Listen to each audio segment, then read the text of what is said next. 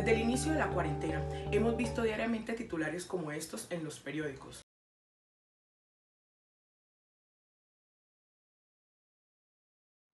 lo que nos hace pensar que la pandemia ha venido de la mano con un incremento en los hechos de violencia de género y que los hogares no son espacios seguros para las mujeres.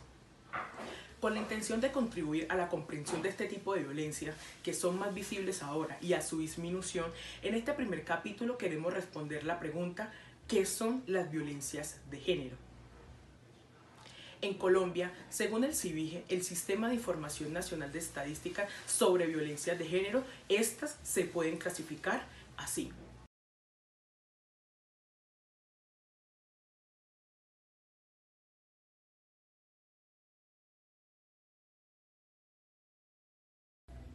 Dicho en otras palabras, la violencia de género se entiende como aquellos hechos de discriminación hacia lo femenino por considerarlo débil e inferior, como resultado de una sociedad desigual que privilegia lo masculino, lo cual se asocia con autoridad, fuerza y dominación.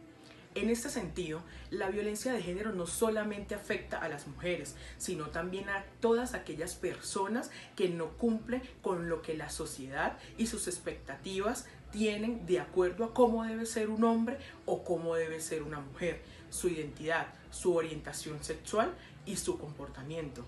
Ahora, invitamos a la comisaria del municipio de Buritica para que nos cuente cuáles son los diferentes tipos de violencia de género que hay. La violencia de género es una violencia sexista en contra de una mujer o quizás de un hombre con el fin de generar una, un daño físico, psíquico hacia esa persona. Se presentan muchos casos de violencia intrafamiliar en el municipio, eh, como es en la zona urbana como en la zona rural. ¿Qué acciones se consideran como violencia sexual y clasificarlas según su gravedad? En los casos de violencia intrafamiliar, cuando el esposo obliga a su cónyuge a tener relaciones sexuales, es un caso, por ejemplo, de violencia sexual, ¿cierto? De violencia intrafamiliar. Eh, también eh, tenemos muchos casos en el tema sexual, de violencia sexual, con los niños, con los niños, niñas y adolescentes. Esos casos se presentan en el municipio desafortunadamente. Los casos de acceso carnal violento y de tocamientos esos actos que son actos sexuales abusivos, esos sí se presentan en el municipio, lamentablemente con los menores de edad.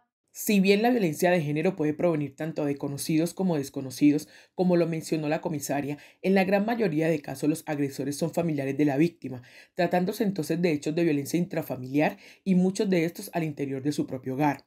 Tomemos como ejemplo el caso de la violencia sexual, que ocurre de manera sistemática en contra de mujeres si se tiene en cuenta que de cada 100 casos denunciados, en 87 de estos, las víctimas son mujeres. De las denuncias de violencia sexual, de cada 100 casos, en la mayoría el agresor era un familiar, pareja o expareja de la víctima, sumado un total de 65 de estos casos, y en 24 de estos el agresor era un conocido de la víctima. Es decir, que únicamente en 11 casos la víctima no conocía al agresor. En nuestra siguiente cápsula vamos a hablar sobre cómo identificar las diferentes formas de violencias de género.